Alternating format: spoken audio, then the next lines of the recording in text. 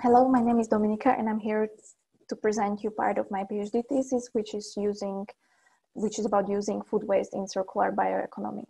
I'm a bachelor and master in environmental engineering by background, and now I'm at the final months of my PhD, three-year PhD in Aarhus University in Denmark, where my main supervisor is Professor Marianne Thomsen, and my PhD supports Horizon 2020 Project Decisive and also Center for Circular Bioeconomy, and my co-supervisor is Lori, where of course my project supports Cambioscop. Now with Cambioscop, uh, we collaborate on three papers. One has been already published and the second is submitted and third is in final stages of the modeling. And I will show you the all three of them. With the first paper, we concentrated on the need for the new framework for the food waste or if there are any. So we know that the food waste is a big global issue because we have 1.3 billion tons of edible waste uh, food that is lost or wasted every year, which corresponds to 8% of greenhouse gas emissions caused by anthropogenic activity. And at the agricultural level, it corresponds to 23% of all cropland and 25% of all water that is used. This has been recognized in Sustainable Development Goals by the goal 12.3, which aims to have food and waste losses by 2030. But the issue that we found out is there are no specific guidelines for this. So what we did is to take old waste pyramid, which on top has the most preferable and on the bottom the least preferable treatment, and we try to update it specifically for the food waste. Now for the prevention and reuse for human consumption, we know that the food needs to be of the high quality and it needs to be edible, which is something that we would call a surplus food. Now, when this surplus food loses its quality, it becomes a waste, therefore inedible by humans, and it can be used as a most preferred version for animal feed.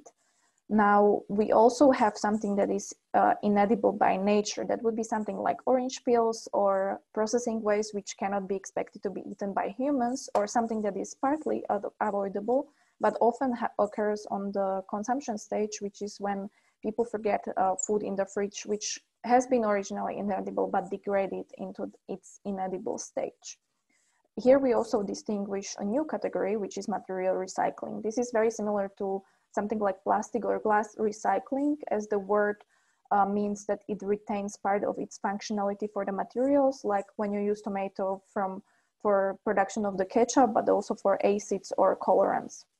We also distinguish nutrient and energy category as two separate categories um, to support strong sustainability, especially in the context of planetary boundaries where we know that we already surpassed the ceiling for nitrogen. Now, when we keep the same colors and keep the same categories and try to translate it for uh, circular economy, it would look something like this. So we still have uh, the linear economy in the middle, where in the bottom it starts at the primary production and move up to consumption. And we know you can read uh, about many examples in our paper as well when we close or the loop in the supply chain for reuse, material recycling, and recovery. And we wanted to see in the case study how does it translate for some of the resources. So we look at the under uh, un unexplored resource of orange peels because these exist and the hundreds of millions tons just in the Europe alone every year. And currently it's mainly used for landfilling and then some part for incineration, anaerobic digestion and animal feed. But the anaerobic digestion and animal feed is hampered by the essential oil presence, uh, which is anti-nutritional and also not good for the fermentation processes, whether it is anaerobic digestion or the animal gut.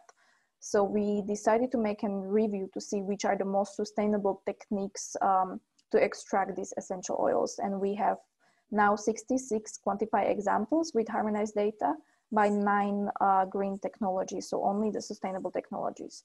The two that stand out for us was the cold press because it's already established for decades. Even though it provides lower yields, it's already in the plants for juices.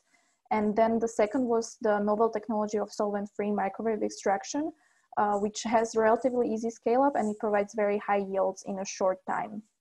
So this was our second paper. Now in third paper, we looked at these two technologies in the scale up procedure, which is integrated to environmental and economic assessment. That would be the great part in the middle, where Ligia and Aras help um, us to model from the laboratory scale to already existing reactors to from nonlinear modeling to linear modeling and stoichiometry where you at the end arrive at the plant flow with a very detailed inventories for the material and especially electricity and waste and the wastewater. And these inventories will be translated or are translated to functional unit, which for us is one ton of orange peels after juicing and in the location Denmark. Now Denmark, uh, the location is important for the energy mix that you are using for your, especially for the environmental assessment. Now for our plant, uh, this from the functional unit of the orange peels would translate to cold press and microwave extraction for the limonen of 38 kilos. This avoids, this can be used as an organic solvent and it avoids hexane production. Now you can see that cascading production really does make sense here because limonen uh, or the essential oil is very small part of the peels. Now these residues, uh, better than to incinerate them, we ferment them for citric acid production. Now in the first stages, we produce mycelium and the peels. After drying, we arrive to 200 uh, kilos. This feed partially avoids soybean meal production and maize production. Now these residues still needs to be cleared uh, by precipitation and acidification steps. And in acidification, we arrive to 65 kilos of gypsum, which can be used in the cement industry. And finally, after crystallization, we have citric acid, uh, citric acid by 48 kilos. This would be in the plant if we have 100 tons of peels uh, each week um, translated to functional unit of one ton.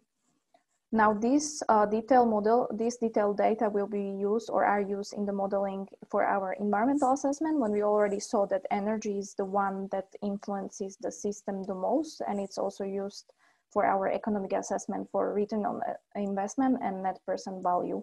And you will read more about that when it's finished. Thank you so much and have a great session.